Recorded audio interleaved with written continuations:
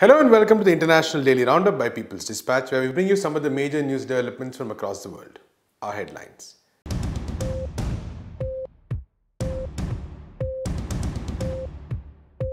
New York, the epicenter of the outbreak has begun to flatten the curve. The United States is set to block Iran's emergency loan appeal at the International Monetary Fund. British transport unions demand enhanced safety measures for workers in London and Australian parliamentarians call for Julian Assange's release amid COVID-19 spread in UK prisons. We begin with an update on the global coronavirus pandemic. With over 1.6 million cases and nearly 97,000 deaths, the number of newly reported cases was as high as 85,000 yesterday. The United States alone added 33,500 cases in a single day. The state of New York has hit a new high with over 10,000 cases added in a day and 779 deaths. But as a silver lining, New York may also be seeing the flattening of the curve. Andrew Cuomo, governor of New York, reported a decreasing hospitalization rate for the first time.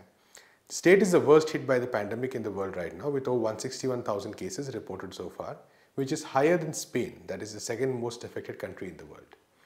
The governor added that if the decline continues, the capacity of the state's healthcare system will stabilize in order to deal with the crisis. This, in turn, can bring down the need for temporary hospitals that were set up in public parks and open spaces across the state to deal with the outbreak. We spoke to Eugene Puryear of Breakthrough News on the situation in New York. Here is what he had to say.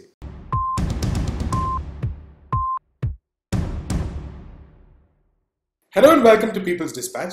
Today, we are joined by Eugene Puryear of the US based media organization Breakthrough News, and we're going to talk about the COVID 19 situation in the United States. Thank you so much, Eugene, for joining us. Oh, Prasant, thank you so much for having me. It's really a pleasure. So, could you first talk about you're, you're based in New York right now, which is right now the global epicenter of the pandemic, so to speak. So, could you first give us a description of what the situation on the ground is right now? What is the nature of the lockdown, for instance?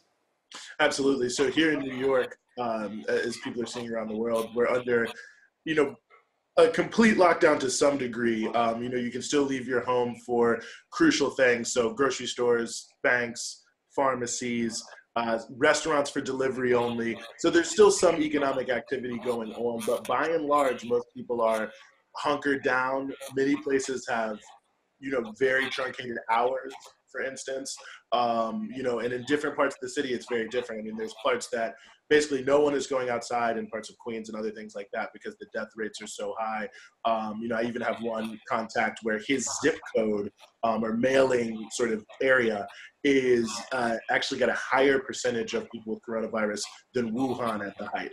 Um, so, you know, we're seeing some very serious numbers, some very serious concentrations, um, but I think a lot of sacrifices from working class people both in terms of people staying home, uh, you know, doing their own childcare, but also the fact that, quite frankly, there's a lot of essential workers. Uh, public transportation is still running. Obviously, everyone working in healthcare, everyone working in food service, and because of the role of the federal government, basically none of these workers have significant personal protective gear. Um, so there's a lot also uh, of consternation, fear uh, among a lot of the working class population here that's still being forced to go out. So, um, you know, it's apocalyptic movie seeming in some ways. There's you know, field hospitals going up in Central Park and other large parks and things like that. So it's starting to take on that kind of, of a feel. Um, but it does feel as if the way numbers are trending is perhaps we're getting ready to reach the peak here. And I think there's a lot of hope uh, psychologically among people here in New York that maybe um, we're reaching some inflection point. But um, certainly a serious lockdown and deeply exacerbated by challenges from the government. So, could you talk a bit about this aspect, the challenges from the government? We've seen the federal responses over over the weeks, where, for instance, Trump has turned every press conference into an election campaign rally, so to speak. And there's been a lot of uh, the WHO attacks, for instance, were the most blatant recent example. And there's been this whole attempt to blame China, blame the WHO, blame everybody else except the government. But in terms of the federal machinery working itself, how has it been? You know, I think it's been very, very uneven and, and deeply inadequate. Um, I mean, almost a little bit beyond the comprehension, I think, of, of many of us. I think that's actually becoming a major factor in the crisis is the government is less competent than I think many people thought it would be in a crisis situation. Um, you know, the challenge, too, in America is you have So you have the federal level, the state level, and the local level, and there's a lot of autonomy between all three. Um, the federal government has the most power to streamline it, but if they don't use that power, then everything becomes a free for all. And that's sort of, I think, the basic uh, way to understand what's happening in America. Is the federal government is essentially playing you know, leading from behind.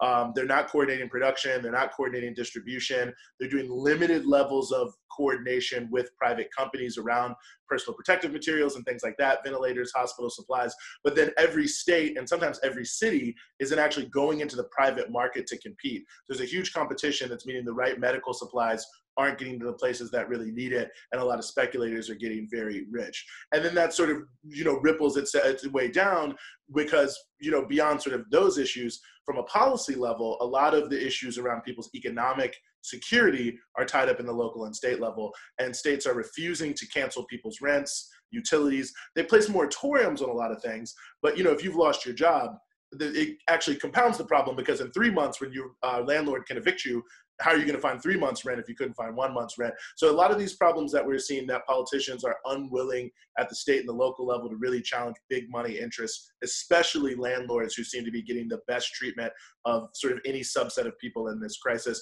But it really starts at the top. The fact that the federal government isn't putting the resources in place with the powers it has using sort of World War II style productive powers. They can control the production and the distribution and sale of all critical goods and are just choosing not to. And so it's creating this strange competition between states, between localities, which means at the end of the day, the things that need to get where they need to be in terms of hospitals, frontline workers aren't getting there. And it's basically not because there are huge shortages, although there are some, but because the government's failing to coordinate. Meanwhile, the US is prepared to block the International Monetary Fund from providing emergency loans to Iran. Yesterday, Iran had urged the IMF to expedite the grant of the loan to help it fight the coronavirus pandemic. Iran is one of the worst affected countries in the world and has more than 66,000 confirmed cases with over 4,000 deaths. Iran had applied for a $5 billion loan last month under the IMF's Rapid Financing Initiative, which gives member states a right to ask for emergency loans in order to tackle any sudden disruption of their economies. The US has claimed that Iran does not need any financial support and the loan money will be used for financing terrorism across the region. Last month, the US refused the United Nations calls for lifting its sanctions against Iran. The US has instead imposed fresh sanctions, prompting Foreign Minister of Iran Javad Zarif to call it an act of economic terrorism. Iran is a member of the IMF and has the right to borrow. However, Given the fact that the US has the highest shares in the organization with over 17% weightage in votes, it can effectively veto any proposal made by the group with the help of its allies. Usually such loan decisions are not voted upon, but the open hostility expressed by the US can play a major role in the final decision. Last month, the IMF had similarly denied a loan application filed by Venezuela. Major trade unions in the UK have demanded enhanced security measures for transport workers in the country, especially in London, where at least 14 transport workers have died because of COVID 19.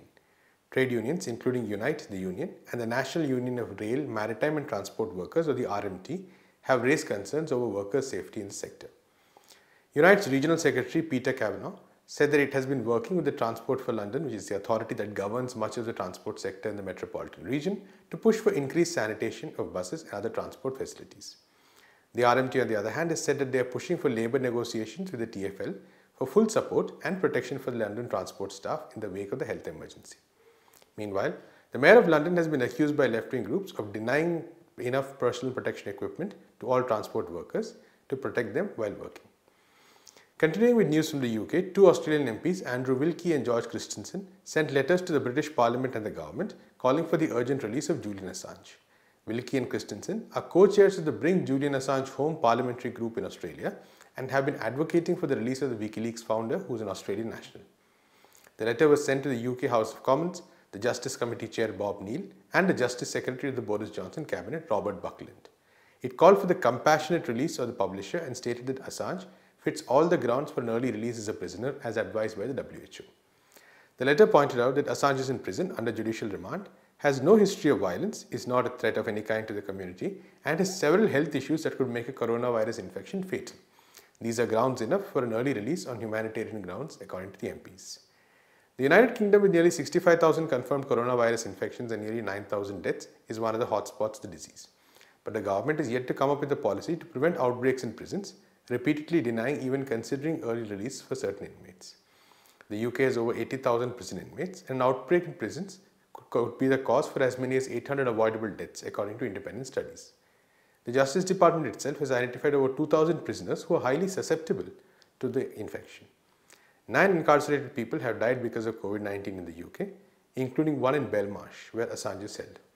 Prison authorities are also reportedly keeping testing low and violating social distancing principles by letting those with symptoms or even those tested positive remain in cells with other inmates. That's all we have in this episode of the International Daily Roundup.